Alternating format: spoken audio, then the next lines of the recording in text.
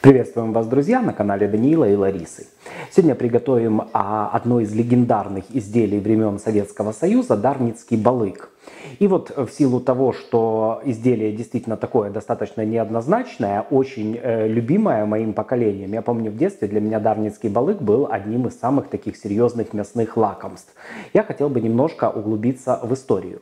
Дело в том, что дарницкий балык появился, название дарницкий балык появилось в 70-х годах 20 -го года. До этого э, по ГОСТу 38-55 -го года это изделие называлось свиной балык э, э, сырокопченый.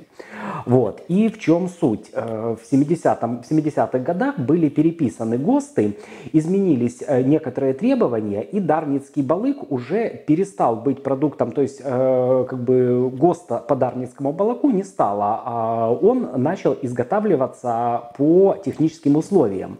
И как бы по этим техническим условиям был назван дарницкий балык, то есть до этого был просто свиной балык. Ну, надо сказать, что вообще любое мясо балыком называть достаточно некорректно. Такая терминология существовала, наверное, только в Советском Союзе и в некоторых странах соцлагеря. Э, потому что балык, ну, в переводе с тюркского, это рыба. Что интересно, то что к концу 70-х годов э, дарницкому балыку, который изготавливался не по ГОСТу, а именно по техническим условиям, был присвоен э, государственный знак качества СССР. И вот как бы мы, в принципе, сейчас будем воспроизводить некоторое количество продуктов по ГОСТам и по техническим условиям 70-х годов, Э, которым был присвоен знак качества СССР. Э, ну, для меня это как бы такой серьезный показатель качества, ну и для людей моего поколения тоже. Действительно, продукты, которые тогда выпускались под знаком качества Советского Союза, были достаточно качественные и э, пользовались некоторым дефицитом. Если вы помните, к концу 80-х такие продукты, как, допустим, Дарницкий балык, они вообще из продажи пропали. Их можно было купить только из-под полы. Будем использовать книгу Юхневича э, вот э, операция, вернее, на сборник, называется, я еще не выучил название, сборник рецептур мясных изделий и колбас. Э, составитель Юхневич. Очень интересная книжица. Э, ссылочку на скачивание найдете в описании видео. Как всегда, всеми книгами интересными с рецептурами я с вами делюсь, друзья. А так как спонсором всех наших колбасных видео является интернет-магазин «Аромат дерева», то я просто обязан сказать о том, что ссылочку на скидочный промокод для покупки любых любых товаров в интернет-магазине «Аромат дерева» вы найдете в описании видео. В этом интернет-магазине вы можете купить абсолютно все, ну или почти все, для приготовления домашних крафтовых колбас и других мясокопченостей. И оболочки, и сетки. Ну, в общем, заходите по ссылочке в описании, смотрите, и если вам э, что-нибудь понравится, не забудьте использовать промокод на скидку от нашего канала. Технические условия предусматривают два вида посола, то есть либо так, либо так. На мой взгляд, правильнее будет сделать смешанный посол, поэтому мы и будем сегодня э, воспроизводить эту рецептуру со смешанным посолом. Но я считаю, что так реально вкуснее. Первый посол будет сухой, а второй посол будет мокрый. Для приготовления дарницкого балыка используется э, мясо свинина, спинная мышца или, как мы ее называем, биточную часть. У нас два вот таких вот классных кусочка, мы их по максимуму зачистили. То есть если здесь есть слой, толстый слой жира, его лучше убрать. Э, вот сделать таким образом. Вес каждого из э, вот этих вот отрубчиков по килограмму. То есть всегда просят называть изначальный вес, но тут он особо значения не имеет, потому что на выходе мы в любом случае получим из каждого каждого кусочка 700 грамм. Также нам понадобится нитритная соль и сахар. Пропорции для первого сухого посола следующие. На килограмм сырья 25 грамм нитритной соли с содержанием нитрита натрия 0,5-0,6% и 1,25 грамм сахара. Смешиваем нужное количество сахара с нитритной солью. И пока я смешиваю, расскажу о сырье. Сырье для приготовления дарницкого балыка, как и для любых мясокопченостей, должно быть созревшее. После забоя э, животного э, мясо должно созреть в течение 5-7 дней в холодильнике. Это до засола, друзья. Что постоянно задаете вопросы. До засола, перед тем, как засаливать, если вы покупаете мясо на рынке, свежину, то есть вам говорят, что хрюшка вчера еще хрюкала, значит, обязательно это мясо в холодильник, на тарелку, можно прикрыть марлей, ни в коем случае не в пакет целлофановый, ни в какие вакуумы. И при температуре 2-4 градуса в холодильнике мясо должно созревать 5-7 дней. Никаких контейнеров, ничего, вот так вот на тарелке марлечкой прикрыли и мясо созревает. После этого приступаем к засолу. Если вы покупаете мясо в магазине, то наверняка оно там уже пролежало несколько дней и фактически оно созревшее. Можно приступать к засолу, ну, наверняка практически сразу. А, в таком случае вы мясо купили, вы его везете, транспортируете, оно нагревается. Перед тем, как приступить к работе с мясом, обязательно охладите его в холодильнике. Берем вот такой вот контейнер.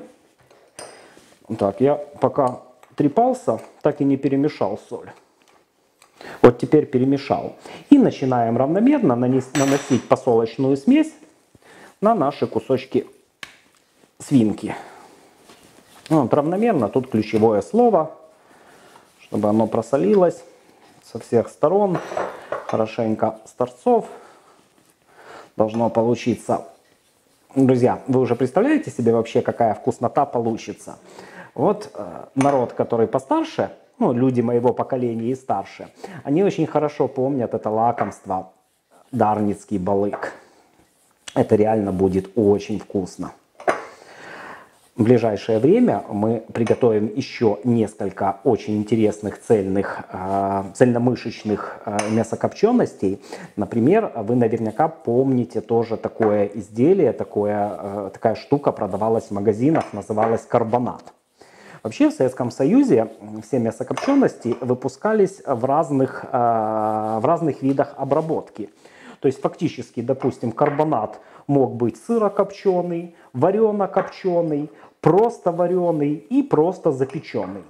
Ну, это уже тема для отдельного видео, так как мы сегодня готовим дарницкий балык, вот так вот его хорошенько равномерненько засолили со всех сторон, отправляем его на сутки в холодильник э, при температуре тоже 2-4 градуса. А через сутки продолжим, будем готовить рассол. Но так как к завтрашнему дню рассол у нас уже должен быть готов, так как мы будем э, дарницкий балык перемещать из э, сухого посола непосредственно в рассол, сразу же расскажу о пропорциях. Вообще ссылочку на текстовый пошаговый рецепт и всю навеску ингредиентов найдете в описании этого ролика. Там будет и так и написано текстовый рецепт тут, друзья.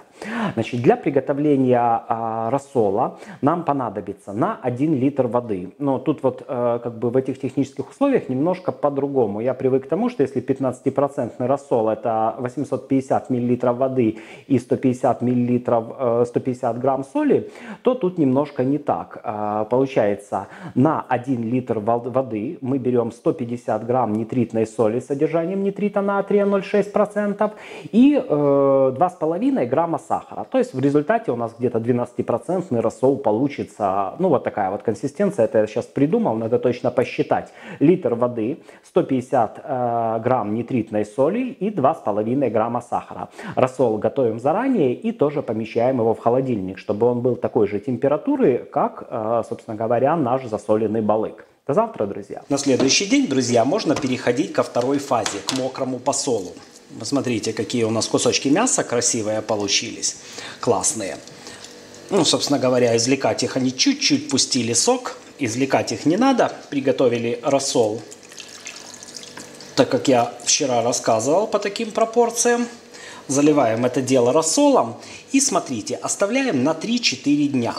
Единственная процедура, которую нам надо делать, это массаж. Да, мясу надо делать массаж. На производствах есть даже специальные машины для этого. Вот так вот хорошенько его разминаем каждый день. И э, после этого помещаем в холодильник при температуре 2-4 градуса, пусть оно солится. Но массажиком не пренебрегаем, если хотим, чтобы у нас получился вкусный дарнический балычок. Ну и как бы вот так вот каждый раз промассажировали и на другой бачок его положили к мясу надо с любовью относиться, чтобы оно вкусное получалось. Ну что, друзья, вы делали массаж дарницкому балычку? А я делал.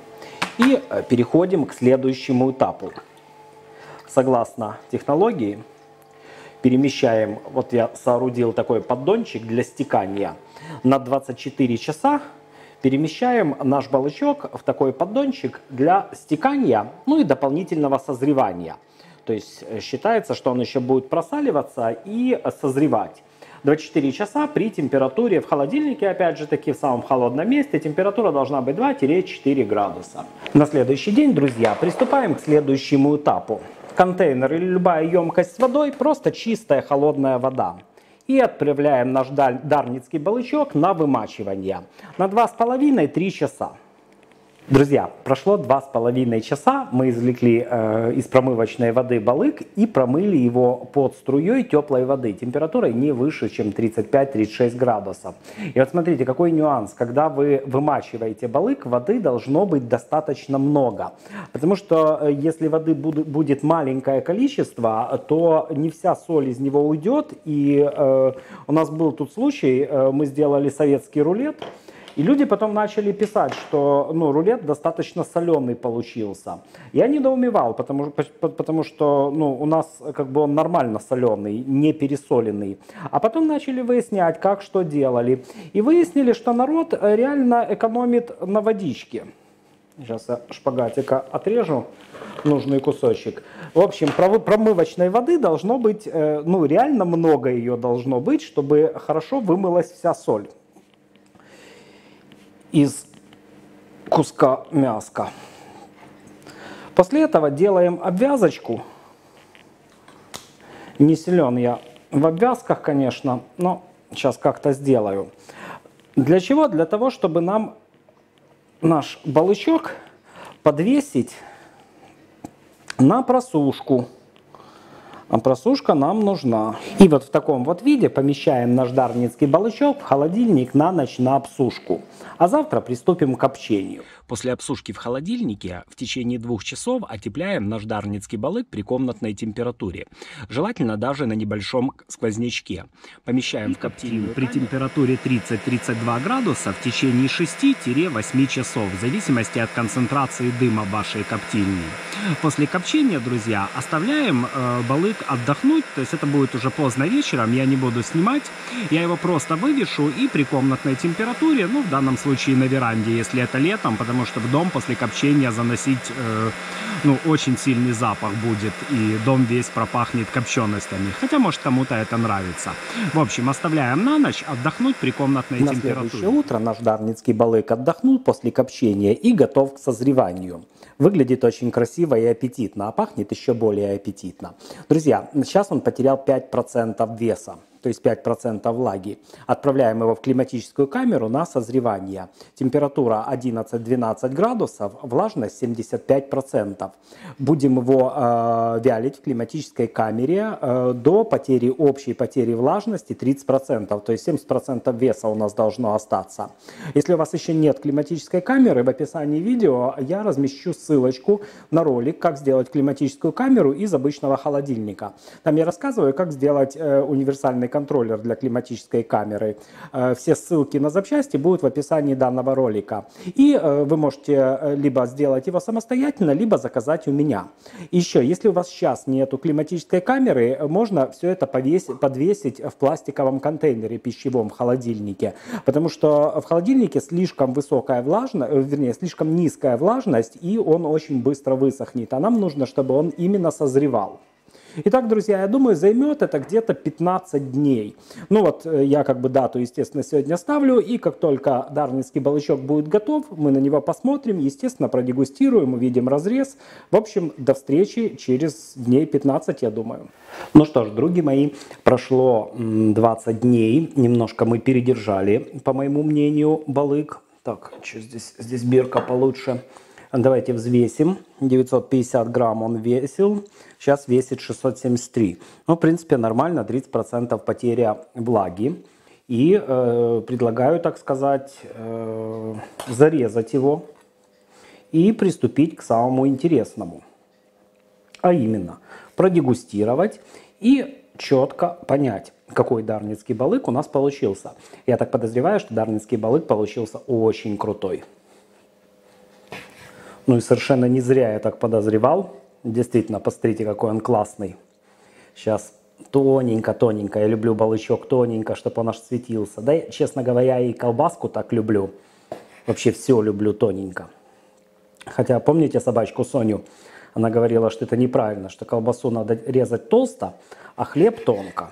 Ну, у нас наоборот. Давайте посмотрим на разрез. Посмотрите, пожалуйста, какая красота получилась. Балычок просто суперский. Ну, я считаю, он идеальный по цвету, по своей структуре. По-моему, просто отлично. Давайте скорее пробовать. Зрители моего возраста прекрасно помнят вторую половину 80-х, когда существовало понятие дефицит, и дарницкий балык просто так купить не, было нельзя. Его надо было доставать. И доставали его, поверьте, не такими вот батонами, а кусочечками маленькими. Это был деликатес, когда моему папе удавалось доставать, э, достать дарницкий балык. Для меня это было праздником. Ну и сейчас я вам хочу рассказать. Я очень хорошо запомнил этот вкус с детства, потому что, наверное, это была это один из самых ярких вкусов моего детства, самая любимая вот такая мясокопченость. Так, ну я же про аромат не рассказал. Пахнет он просто божественно. Просто божественно. Это, это потрясающе. Давайте будем пробовать. Нежнейший, нежнейший, настоящий дарницкий балык. И вы знаете, о чем я сейчас жалею? Что я себе рюмочку водочки не налил для дегустации этой прелести. Хотя и под пиво тоже пойдет. Что я вам хочу сказать, друзья? Ну, так, что-то я с кусочками, я тут увлекся дегустацией, пока Лариса камерой занималась. Подсоли идеально, просто идеально. А, может быть, даже, вот на мой взгляд, он где-то малосольный. Нет, в норме. По соли в норме э, эту схему соления, ну, я считаю, что даже людям, которые не любят соленое, он не покажется слишком соленый. А, вот, по-моему, идеально. По вкусу, по копчению мы попали вот четко, четко во вкус. Получилось просто суперски. Друзья, как обычно, с удовольствием представляем вам рецепт дарницкого балыка. Мы готовим для вас много всего вкусного и интересного. Не забудьте э, присоединиться к нашей группе в Facebook о приготовлении домашних колбас, сыров и вкусного домашнего алкоголя. Ссылочку найдете в описании, там очень интересно. У нас собралось очень классное сообщество людей, которые делятся своими рецептами, делятся своими какими-то изобретениями. Кто-то строит коптильню, кто-то еще что-то делает. И все это обсуждается и как бы Э, люди делятся этим в группе. Также там можно задавать вопросы, рекламировать свои товары. В общем, переходите по ссылочке, подавайте заявку, присоединяйтесь, а мы с Ларисой готовим для вас вкусные сыры, колбасы и, конечно же, домашний алкоголь. Всего доброго, пока!